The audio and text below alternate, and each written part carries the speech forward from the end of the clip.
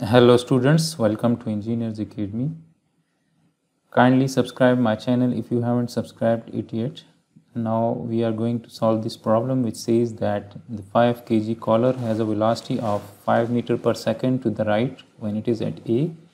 So when the collar is at A, it has a velocity of 5 meter per second. So let me write that the velocity at A is 5 meter per second and it is moving to the right. So let's say that uh, we define our coordinate system. Let's say this is my tangential axis and the normal axis is acting towards the center. So the velocity is in the tangential direction and that is towards the right. So this is the velocity. This is VA. And further it is said that it then travels down along the smooth guide determine the speed of the collar in when it reaches point B. So we have to find the velocity of the collar when it just reaches here which is located just before the end of the curved portion of the rod. The spring has an unstretched length of 100 mm.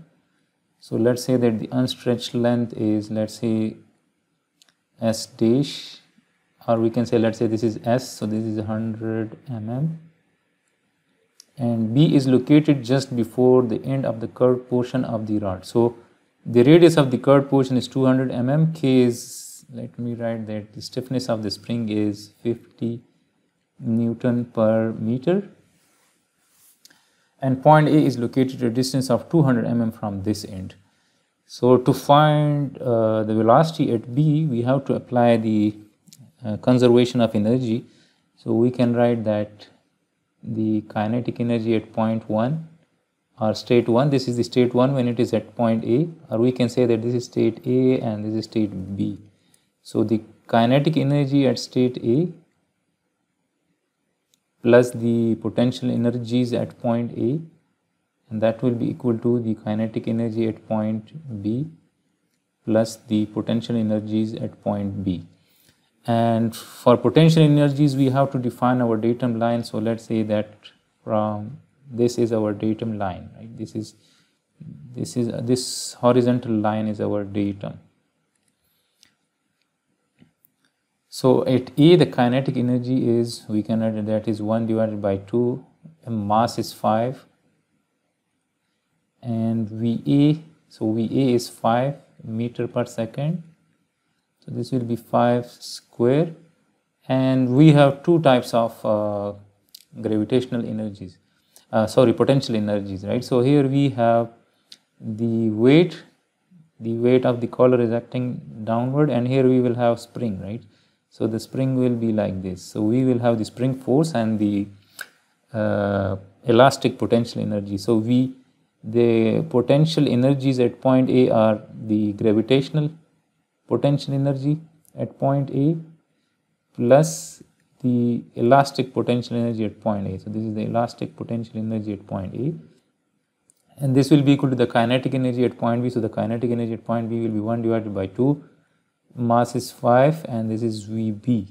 Uh, let us say that the velocity at point B is V right. So, this is V square plus again we have the the gravitational potential energy at point B plus the elastic potential energy at point B. Now as we know that the gravitational potential energy this is always equal to W times Y and Y is the distance of the body from the datum line. So this is our datum line. So at point A the collar is located at a distance of 200 mm from this datum line, this radius. And uh, this in the upward direction y is considered as positive from the datum uh, in the upward direction. This is plus y direction and this is negative y direction. So vg at a will be equal to we can write that that will be weight. So weight is 5 uh, times 9.81 and y is 200 mm. So 200 mm divided by 1000 so that will be in meters.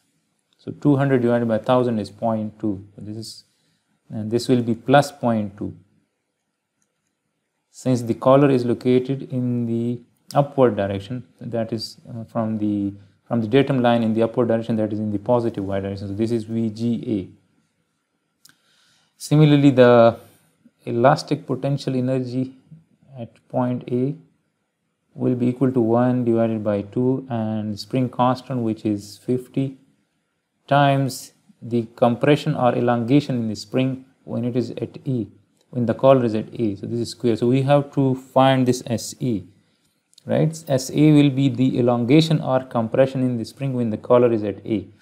So, so the unstretched length of the spring is given that is 100 mm.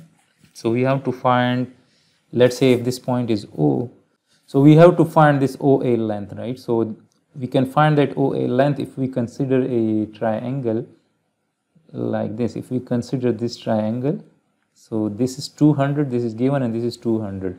So OA is the hypotenuse of this triangle. So let me write that OA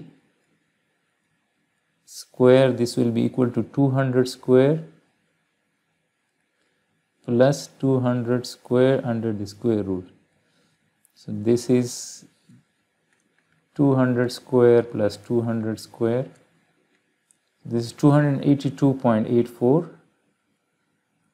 and this is since we have taken the square root so this is the OA length this is OA length remember. So this is 282.84 mm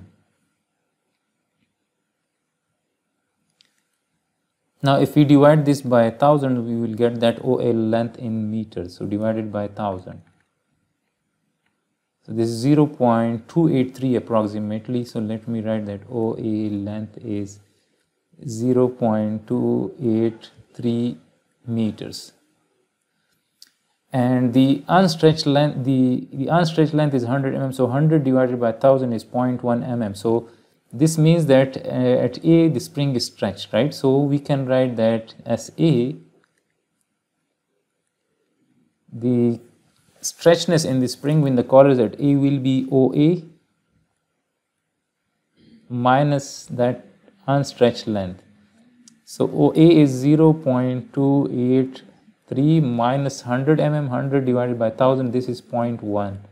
This is 0.1 meters, so minus 0.1. So this is 0.183 meters. So when the collar is at A, the spring is stretched to a distance of 0.183 meters. So now we can put SA in this equation. Let me write this is SA square. This will be 50 divided by 2 is 25 into SA square 0.183 square. So this is the elastic potential energy at point A. Now the gravitational potential energy at point B, so the collar will reach here. So it is located at the reference line that is at the datum. So the y is 0 at reference y will be equal to 0. So again the gravitational potential energy is w times y, y is 0 so this will become 0 and the elastic potential energy at point B. So the collar will be here and then the spring length will be OB that let me write OB. So OB will be this 200 plus 200, so that is 400 mm, 400. So this is OB and this is in mm and in meters it will be 400 divided by 1000, so this is 0.4 meters. And if let's say that the the stretchness or compression in the spring at B is SB, so we can write that SB will be equal to OB length minus the unstretched length of the spring. So OB is 0.4 and the unstretched length of the spring is 0.1 meters. So this is 0.1. So SB equals to 0.3 meters. So the elastic potential energy at point B will be 1 divided by 2 and K, K is 50 and this is SB square 50 divided by 2 is 25 SB is 0.3 square. So let me find all these. So the gravitational potential energy at point A is 5 multiplied by 9.81 into 0 0.2 this is 9.81 this is 9.81 and the elastic potential energy at point A is this is 25 into 0 0.183 square 0 0.837 this is 0 0.837 this is 0 and this is 25 into 25 into 0.3 square. This is 2.25 2.25 now we need to put all these values in this equation. Let's say this is our equation 1 so this is 5 divided by 2 2.5 into 5 square this is 2.5 into 5 square plus VGA VGA is 9.81 plus VEA which is 0.837 and this is equal to again this is 5 divided by 2 2.5 into V square plus VGB this is 0 and plus the elastic potential energy at point B which is 2.25 so plus 2.25